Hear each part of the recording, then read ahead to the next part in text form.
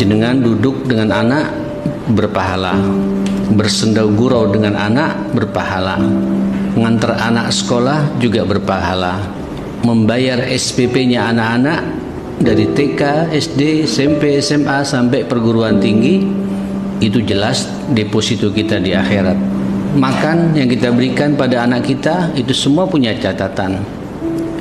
Artinya anak itu nikmat yang harus kita syukuri kepada Allah Subhanahu wa taala makanya orang tua yang bijak tidak akan banyak mengeluh tentang masalah anak sebab dia sadar betul sesadar-sadarnya bahwa Allah ketika memberikan karunia anak Allah sangat memahami betul bahwa kita orang tua ini sanggup memikulnya sanggup untuk mengarahkan anak kita, mentarbiah anak kita. Sebab kalau tidak sanggup, Allah tidak akan berikan anak kepada kita.